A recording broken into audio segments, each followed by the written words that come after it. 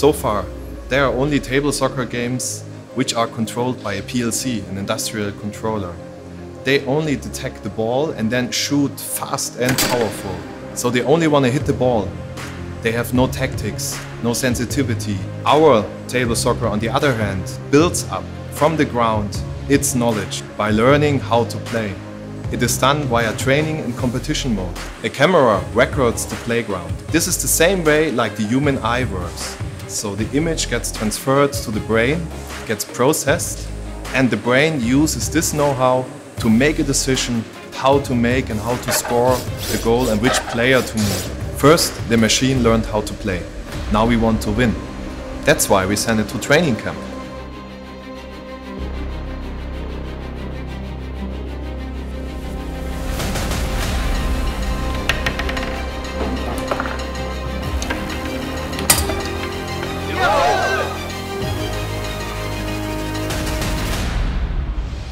In training mode, the kicker learns by chance.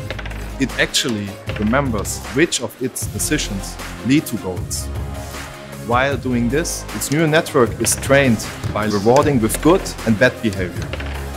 Good behavior means that the kicker made actually a goal. Bad behavior means that the human opponent of the kicker made a goal. We will never stop working on winning. But the machine itself will be already our first victory.